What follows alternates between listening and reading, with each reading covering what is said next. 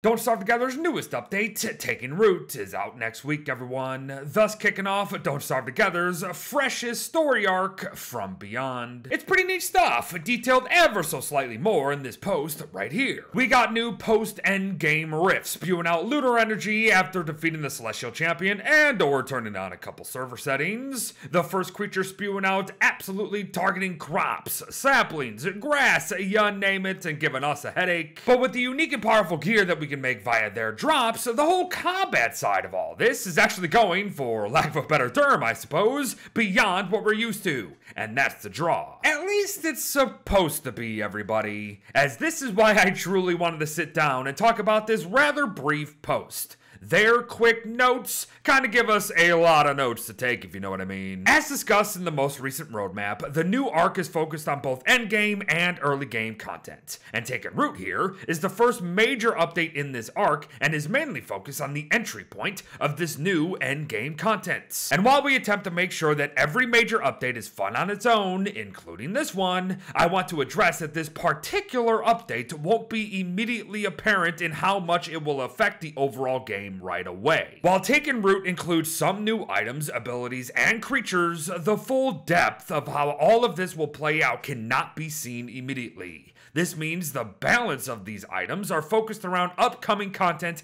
and not necessarily intended to be direct upgrades to existing contents. Since the endgame portion of From Beyond is being split into three parts, the balance is being designed with the upcoming content in mind. Now, that doesn't mean we don't want bug reports and feedback, just that you should keep in mind that you don't have the full picture yet, but it's still good for us to know your thoughts. Thanks to everybody for all that feedback feedback and bug reporting during the beta period, and we are still working and reading it, so keep it coming. Alright, folks, let's start from the very tippy top and work our way down, right? Taking Root is the first major update in the arc that is all about entry to the post endgame. Okay, that makes sense. We knew that from the beginning. But then they go on to say that while indeed it is true that this update has added a lot of things for the Beyond, they're saying that From Beyond is getting split into three parts. Does that mean that all three parts are going to be post endgame? Because at the end of it all, they make a very, very clear statement to everyone who's been talking about this update for several weeks now that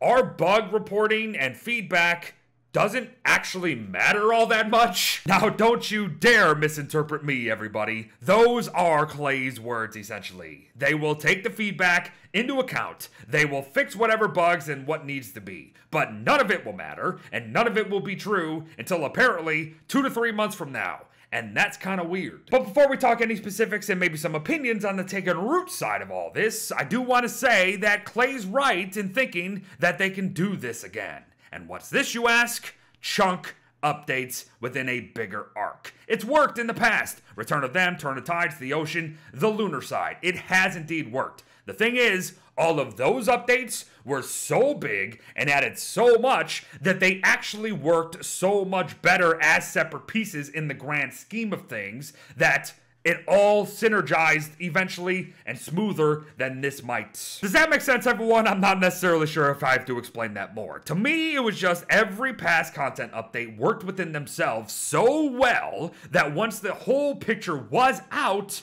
it just fit right? But with Taking Root and From Beyond here, they are specifically saying that this is part one of three, and we will have no picture of what any of it means until part three is out, and potentially two or three months from now? Yeah. I don't think that works anymore. Especially once we talk the true specifics here. Not much as we've been going on about it for a while, but I'm mostly on about the planar damage. Offensively, defensively all that stuff. Completely wild new mechanic out of nowhere. And none of it's going to matter until the third update's out.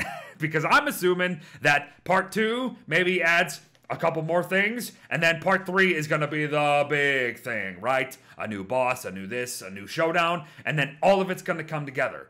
That's the problem here. It's like, I get it. You don't want to drop it all at one time. You've been doing these monthly content updates for so long. It's worked in the past. But in this particular case, it's kind of just a gut punch. We'll have to deal with it, right? It's a beta. I understand that. And I'm cool. I'll wait. Fine. But you have to understand the optics of this Klei. It just doesn't sit right. Maybe if you weren't so damn secretive all the time, you can give us a little bit to nibble on so you can sate us a little bit and kind of relieve the stress and the thoughts and the feedback and the bugs and the yelling in the forums. By the way, never listen to the forums anyway, but you get the picture. It's just weird because we still actually don't even know if part two is going to be endgame stuff or is it going to be early game stuff because as they said from beyond is the next arc it's three parts. But we don't know if it's three parts of all post end game or if it's a mix and match. That's also something that should probably be clarified. But whatever the case may be and regardless of what's being said here there anywhere i like the look of the new stuff i like the idea behind the new stuff i wish just things were better now instead of three months from now but we will still be here absorbing the new stuff learning it sharing it and expanding upon it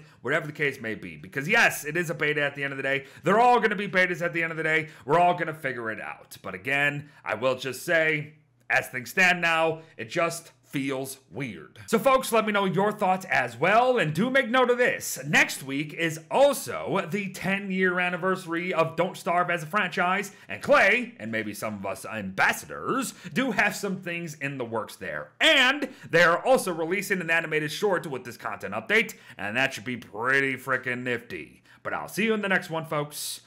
Bye bye.